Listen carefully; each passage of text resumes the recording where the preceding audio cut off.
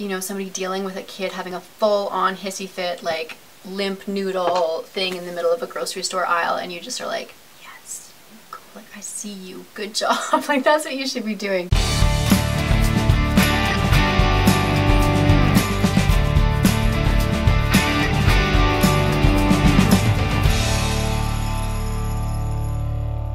So I've decided that I'm going to try and do the video with Miss Olive. Hi. Can you say hi? I've told her she has to be very quiet. So this could either go well or this could be a terrible mistake. We're going to see. Good job. We're going to tackle the two final questions from this Ask a Mama series. The first one comes from Christine, and Christine says, I currently use a mixture of rubbing alcohol and water to disinfect my bathroom. Is this as, as environmentally friendly as using vinegar? I want a disinfectant that works well, especially during cold and flu season. Are there safe alternatives to disinfectant? Totally. Um, Christine, what I would suggest for you is to use either hot soapy water or vinegar. The reason I would suggest the hot soapy water is because there was recently a report that came out from the FDA that talked about, it was talking about antibacterial hand soap, so something a little bit different. But basically what it said was that antibacterial hand soaps were no more effective than hot and soapy water at getting rid of germs. Olive, please do not touch that.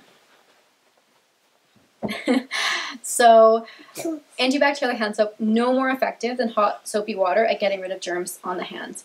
I made a terrible mistake. Stick with the hot soapy water and you'll be totally fine. Um, just get a bucket, get a clean cloth, use that to wipe down all those germy surfaces like your doorknobs, faucets, countertops.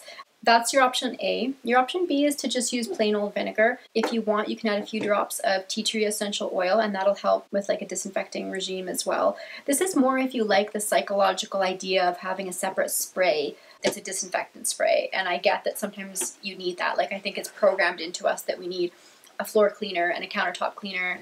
Thank you. Thank you very much. So if you need a specific spray that says disinfectant, this will be great for you. Vinegar, add some tea tree essential oil, spray it on any surface you want to disinfect, use a, a damp cloth to wipe it off and you're good to go. As far as rubbing alcohol goes, it's not terrible. You know, it's not as high up in the concerns as I would be if you were using bleach or um, like Lysol or something like that. My main concerns with it would be that it comes in a really small quantity, so you're buying small quantities of it in a plastic bottle. And then it, it's a little bit more of a concern if this was a terrible mistake.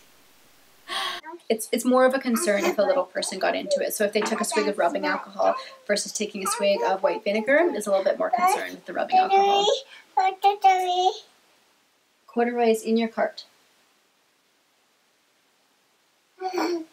The second question comes from Jessica, and she asks, What is a safe, non toxic way to keep mold out of my kitchen compost bin? Jessica, good for you for composting. This makes me so happy. The key to this is just to completely wash it out after every time you empty it into your bin outside. It's gross, so this is one time that I do use plastic. I have plastic gloves that I use for gross household jobs. Put on the gloves, give it a thorough cleaning with hot soapy water. You can spray it with vinegar if you want to take down the smell a little bit. If it's sunny where you are, I would just leave it to air dry in the sun too. That'll help. And if you want to, you can sprinkle some baking soda at the bottom, which might help a little bit to keep down odors. It's not going to do a ton because you're keeping, you know, peels and stuff like that in there. So it is going to have a little bit of an odor. If you're a one or two person family and you're not emptying it a ton, make sure you're taking it out to the to the big bin in the backyard at least every second day, um, just to prevent it from getting a buildup, and that might be contributing to the mold. But definitely, like just cleaning it, like scrubbing it out really well, should be enough to keep the mold at bay. Um, using a metal container too, plastic tends to be more porous than metal, so using a metal container will do a lot more to keep the smells down and hopefully keep the mold out as well. Good for you for composting. I'm happy that you are, and I hope that this mold situation gets under control. Thanks, Jessica, and thanks, Christine, and thank you, Beth, and I hope you got something good out of this. My God.